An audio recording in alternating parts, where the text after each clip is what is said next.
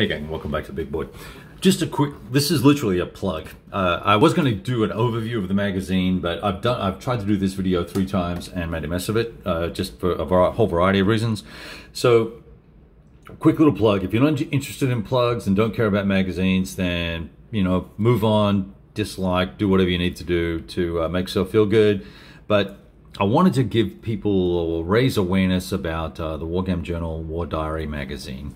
Uh, great content in here.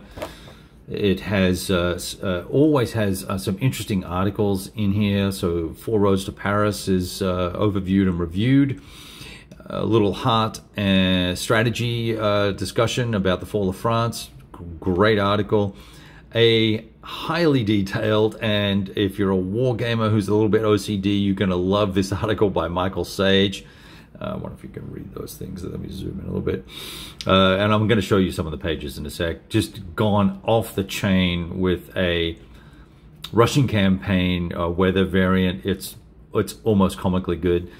Uh, this article not so impressed with because of the sourcing material that's used here and I'll leave it at that uh, Wing and a Prayer, great game from Lock and Load Publishing that I've had a chance to play just the one time, but uh, Curtis does a great overview of that. And uh, Hans does a fantastic overview of Aachen 1944 uh, cro crossing the line. I think that should be crossing the line, uh, not closing the line. Never mind. Uh, so, VUCA Simulations, it, the, the publisher, the uh, not the publisher, the um, yeah, it is crossing the line. Um, what's his name? Dirk. Uh, so Dirk's last name is in here somewhere. And see, this is why I had to redo the video because I, I missed this completely last time. Dirk is the guy that made von Manstein's Backhand Blow from GMT. Great game, love that system. I was unaware that there were prior games that used the modified version of that. However, uh, Dirk, using that system, uh, has updated and refined the uh, Piercing the Reich game and turned it into this.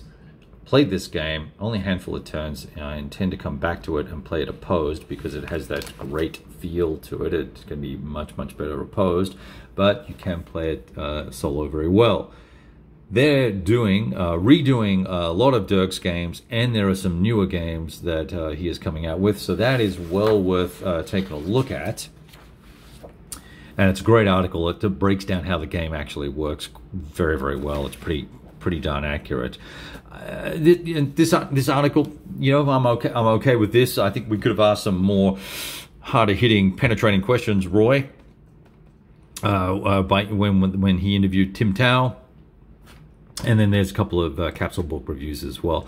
20 bucks a year, I think it is, or maybe it's, here it is, published four times a year. Okay, it's $36, I lied. Uh, $36 in the US, uh, but you do get a, you get some sort of credit with lock and load or, or something like that where you can actually run, uh, you can actually get a free print and play game uh, that they will publish on demand and send to you uh, if you subscribe to these guys. So let's have a quick look, right? Just the, oh, it's pretty high quality print out, uh, nice. Uh, sorry about the, the zooming around here. Nice artwork in here.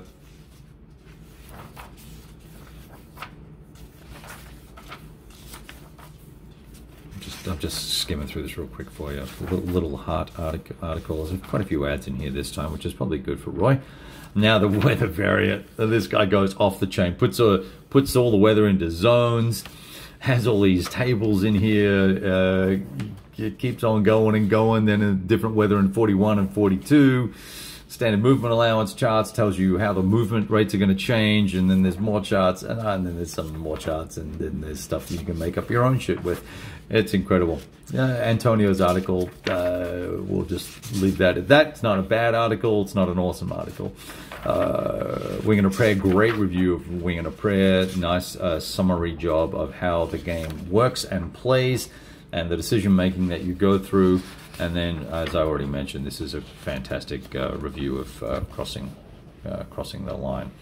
All right, wanted to give that guy a little plug because I don't think enough people know about Roy's magazine, and if you do and you haven't subscribed, maybe you should. Yada yada yada. All right, all the best. Talk to you soon.